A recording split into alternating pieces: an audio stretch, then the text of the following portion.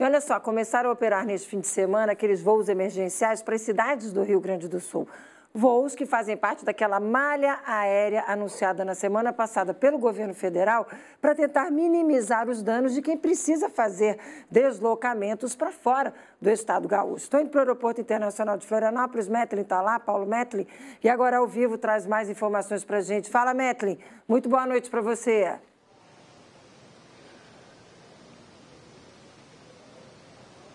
Boa noite, Márcia, e boa noite para vocês também. O que diz esse plano emergencial? Que nessa primeira semana de atendimento, 116 voos estarão disponíveis, 88 previstos para sete cidades do Rio Grande do Sul e outros 28 voos disponíveis para três cidades aqui de Santa Catarina três aeroportos catarinenses fazem parte desse plano emergencial. São eles: Aeroporto Internacional de Florianópolis, de onde nós falamos ao vivo a partir de agora. Há também o aeroporto de Chapecó e o outro é o de Jaguaruna.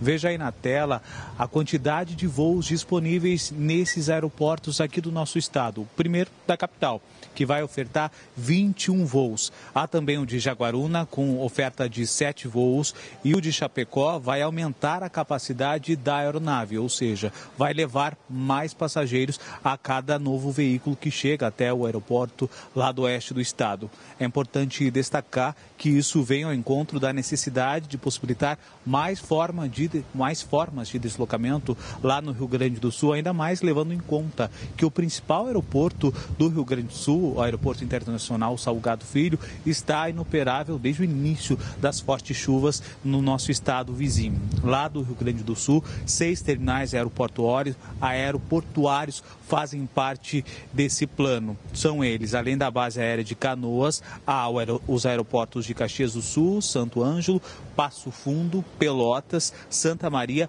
e também Uruguaiana.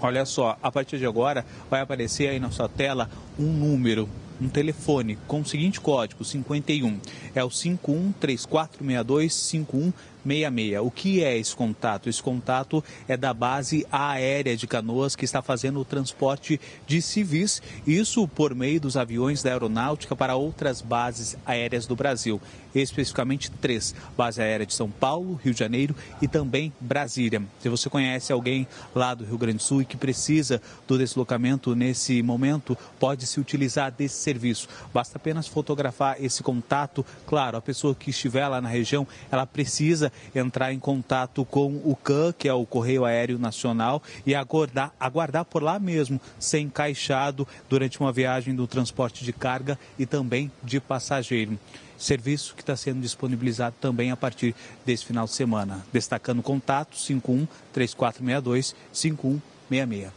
Márcia, volto contigo. Tá aí, cuidado aí, Metli também, bastante vento, a gente percebe na imagem ao vivo dele, lá do Aeroporto Internacional de Florianópolis, bastante vento nesse momento. Sibeli daqui a pouco traz a previsão. Valeu, Metli, pela, obrigada pelas suas informações. Uma boa noite para você.